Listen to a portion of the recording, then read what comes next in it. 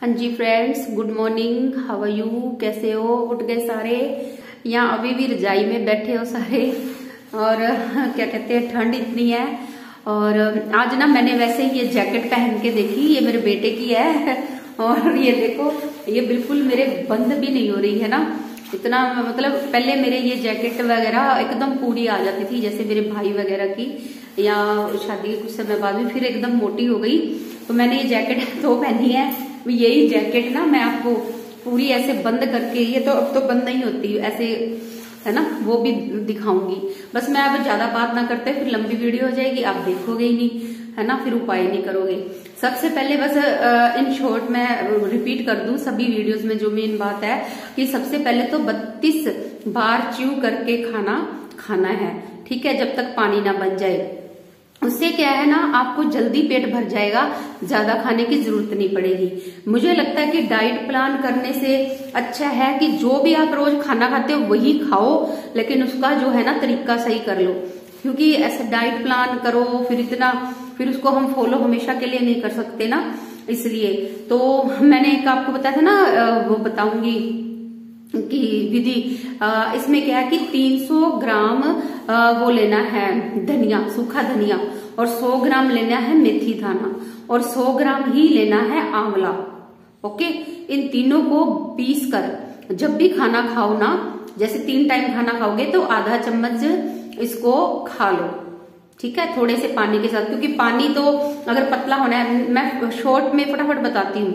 Number one खाना बत्तीस बार चबाना है दिन में पाँच, छह दफ़ा गर्म पानी पीना है। मैं तो तीन दफ़ा ही पीती हूँ, क्योंकि मेरे को बार बार पेंटिंग करते हुए उठना मुश्किल लगता है। मैं सुबह सुबह एक लीटर पानी गर्म पीती हूँ, ठीक है? और दोपहर को खाना खाने से पहले, है ना बारह एक बजे तक मैं एक लीटर गर्म पानी धीरे धीरे करके मतलब टेबल पर रखा पानी, एक जो है, गड़वी भर के, गर्म करके और फिर एक गिलास धीरे धीरे पिया, फिर धीरे धीरे ऐसे पी लेती हूँ। और फिर शाम को खाना खाने से एक डेढ़ घंटा जो है ना, शाम को जब पेंटिंग करके उठती तब पी लेती हूँ एक लीटर तीन लीटर तो पानी ये ऐसे हो ही गया। और उसके अलावा जैसे हम कोई चाय, दूध पीते हैं वगैरह लिक्विड लेते हैं, कम से कम चार लीटर तो होना ही ज़रूरी है। नंबर वन बत्तीस बार खाना चबा के खाना है। और मैं वो वो रूल बताऊँगी जो सभी पर लागू होते हैं। क्योंकि कई बार डाइट प्लान ऐसे होता है, किसी पर लागू होता है, किसी पर नहीं होता। तो गर्म पानी तो सब पर ही लागू होगा ना? गर्म पानी तो इतना बेस्ट है ना, मैं, देखो, मैं बिल्कुल मोटी ना होती दोबारा। जब मैंने 16 किलो वज़न कम कर लिया था 76 से 60 तक आ गई थी, फिर धीरे धीरे मेरा पाँच छह किलो वज़न क्यों बढ़ा? इसीलिए ही बढ़ा ना, क्योंकि मैंने फिर अपनी केयर करना छोड़ दिया। ठीक है? पहले तो मेरा वज़न कम हुआ था, दौड़ लगाने से। एक घंटा मैं डेली सुबह उठ के दौड़ लगाती थी। और एक्सरसाइज बहुत कम करती थी कभी कर ली कभी नहीं। और घर का सारा काम जैसे पोचे लगाना बैठ कर ऐसे और मतलब पैड़ियों पे ऊपर नीचे चढ़ना इस तरह से उस, उस वजह से और कुछ मैंने ना दोपहर का खाना बंद कर दिया था खाना और मैं ब्राउन राइस ज़्यादा ही भूख लगे तो ब्राउन राइस और दही खा लेती थी। लेकिन अब मैं ऐसे है ना, मैं ये ब्राउन राइस तो स्किप कर रही हूँ, क्योंकि अब मेरे पास इतना टाइम नहीं होता अपने लिए कुछ अलग बनाऊ। मैंने अब ये प्रण किया है, जो सबके लिए बनाऊँगी ना, वही खाकर मैं पतली होंगी ठीक है? देखो, अगर आपको कोई, मैं थोड़ा स्पीड स्पीड बोलती हूँ, अगर आपको कोई कहे, बैंक में से आपने ना पैसे जल्दी से जल्दी खर्च करने हैं, निकालने हैं, ठीक है? तो आप और और क्या कहते हैं, और उसकी भी एक सीमा है, भी इतनी सीमा में निकाल सकते हो। तो आप सबसे पहले क्या करोगे? सबसे पहले यही करोगे ना कि बैंक में से पैसे भी निकालने और, और एक लिमिट में तो आप सबसे पहले पैसे बैंक में जमा करना करने बंद करोगे ताकि आपको बैंक में से पैसे खाली करने हैं। उसी तरह से यही है कि अपने शरीर में से अगर आपको चर्बी को घटाना है, आपका मान लो तीस किलो वज़न ज़्यादा है या बीस किलो वज़न ज़्यादा है, उसको आपने तीस किलो को हटाना है अपने शरीर से। तो उसका सबसे पहले और एक एक लिमिट है, अभी आप इससे ज़्यादा तो किलो वज़न कम कर ही नहीं सकते हो या दो किलो कर सकते हो, एक लिमिट होती है ना।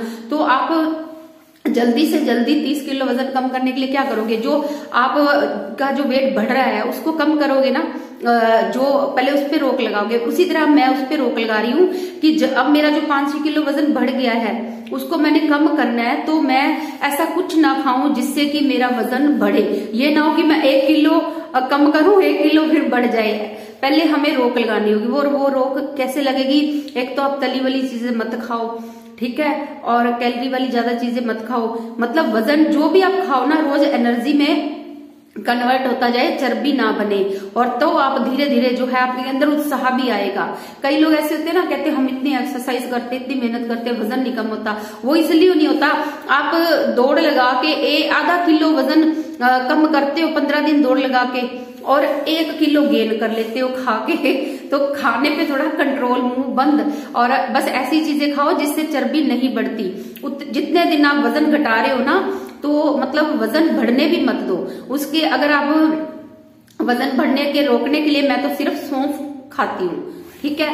भी सौंफ खाना खाने के बाद चबा चबा के आधा चम्मच, फिर दोपहर को आधा चम्मच, रात को एक आधा चम्मच, ऐसे खा लेती हूँ। पानी गर्म पियो, बत्तीस बार खाना चबा के ज़रूर ही खाना है। ये नहीं मोबाइल देखते हुए, टीवी देखते हुए, बिल्कुल आराम से, शांत मन से, जैसे भगवान की पूजा करते हैं, उस तरह से खाना खाना है। और एक घंटा वॉकिंग एक्सरसाइज ये तो आप अपने जीवन का नियम बना लो, अगर आपने यंग और फिट रहना है तो।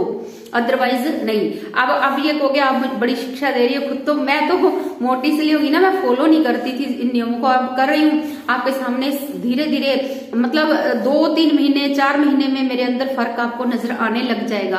क्योंकि धीरे धीरे जो है ना वेट लूज नहीं होता। धीरे धीरे जो है ना हमारे इंचीज का होता है। जैसे मेरा वज़न 67 है तो 67 ही रहेगा एक महीने, दो महीने।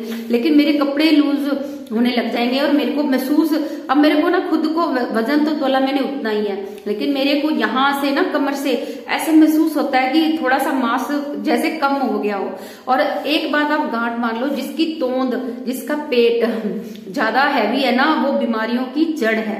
अब आप देखो, एक कपड़ों वाली तार पे नॉर्मल आप कपड़े डालते जाओ तो मतलब स्ट्रेट रहती है तार। जैसे ही कोई भारी भरकम कपड़ा, जैसे कि तोल वाला कपड़ा या ज़्यादा हैवी जिसमें पानी हो, उसको डालोगे तो तार एकदम नीचे आ जाती है। आ जाती है ना? उसी तरह से ही आपका पेट पे या किसी शरीर पे, किसी अंग पे भी वज़न ज़्यादा होगा तो आपका शरीर बेडोल होगा।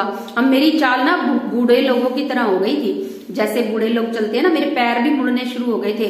मतलब मेरे, मैं ऐसे करके चलना चाहिए ना हमें। अब मैं ऐसे करके चलने लग गई थी मोटापे की वजह से, इस तरह से।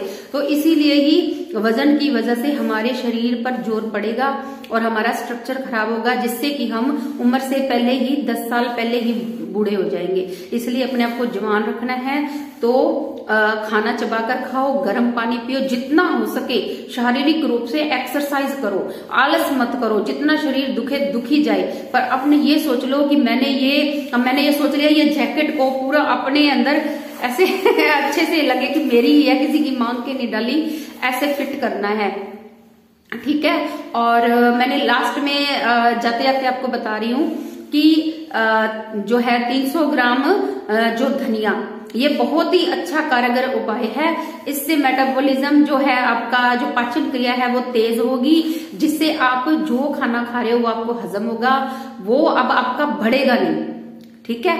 अब आपका मोटापा बढ़ेगा नहीं, उस पर रोक लग जाएगी और फिर आपको जो बढ़ा हुआ वज़न है, वो घटाने में बहुत ही आपको हेल्प मिलेगी।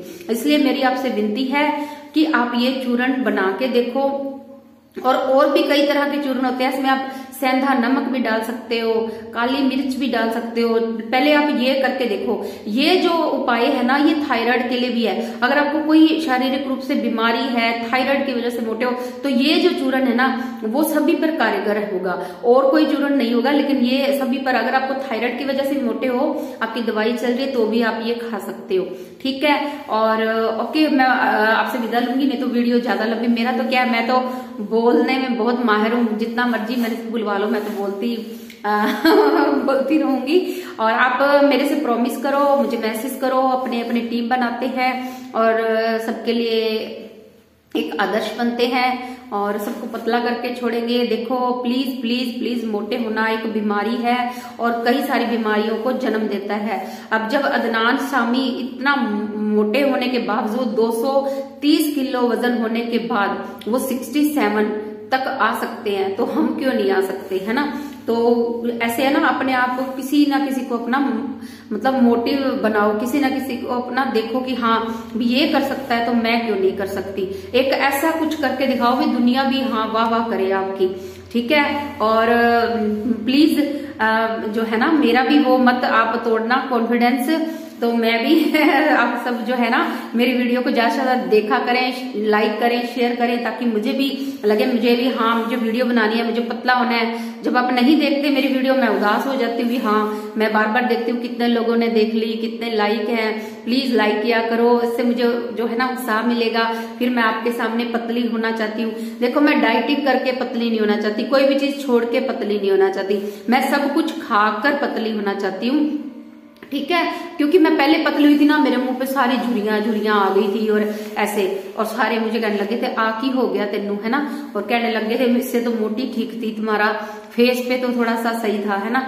इसीलिए अब जो है ना, मैं जो सब कुछ, सब खाते वही खाती हूँ, बस चबा के खाती हूँ, गर्म पानी पीती हूँ। और कोशिश करो भूख से थोड़ा कम खाओ, थोड़ी सी हवा पानी की भी जगह बीच में छोड़ो। ठीक है, मैं तो यही चाहती हूँ कि मैं पतली रहूँ स्लिम रहूँ, सुंदर लगूं और ऐसे ऐसी जैकेट जींस ऐसे कपड़े पहन सकूँ। मैं तो ऐसे बुढ़ों की तरह रहती हूँ क्योंकि फिर मैं सोचती हूँ मेरी हाइट भी कम है और मोटी भी हूँ और मेरे कपड़े जचते नहीं है। ऐसे इन्फिनिटी कॉम्प्लेक्स आ जाता है और पतले होंगे तो आप में कॉन्फिडेंस भी आएगा, है ना? और सुंदर कौन नहीं लगना चाहता, सभी लगना चाहते हैं। इसीलिए जो है ना, कोशिश करो और ओके बोले सोनिहाल सत श्री अकाल वाहिगुरु जी का खालसा, वाहिगुरु जी की फतेह, bye bye see you best of luck